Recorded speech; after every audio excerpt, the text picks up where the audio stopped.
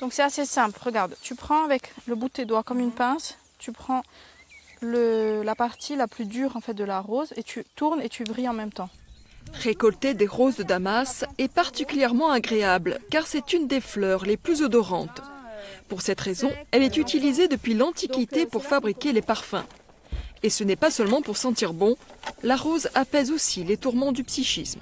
Donc ça veut dire pour les mauvaises humeurs, le stress, le deuil, la tristesse, euh, les chagrins d'amour.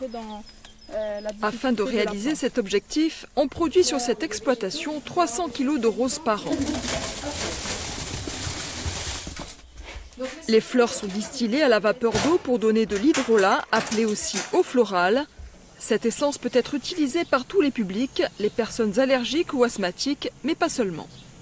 Une femme enceinte, un enfant peut, peuvent utiliser de l'hydrolat, ce qui n'est pas toujours le cas avec l'huile essentielle.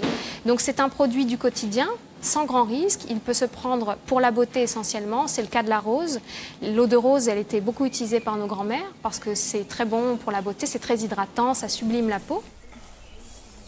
On le sait beaucoup moins, l'hydrolat de rose est aussi utilisé en cuisine pour fabriquer des gâteaux, des boissons ou des plats cuisinés. Cet aspect original inspire les blogueuses insulaires bien décidées à faire partager leur expérience. Tout le monde est à la recherche un petit peu de petites expériences comme ça, euh, un petit peu atypiques. Et euh, ouais, j'ai déjà des, réactions sur mon, sur mon Instagram, les filles qui m'envoient des petits cœurs, euh, ah, ça a l'air super. Non, non, ça, attire vraiment les gens. Il faut 4 à 5 tonnes de pétales de rose de Damas pour produire 1 kg d'huile essentielle. Sur le marché mondial, le prix de cette huile s'envole pour atteindre 5 à 6 000 euros le kilo.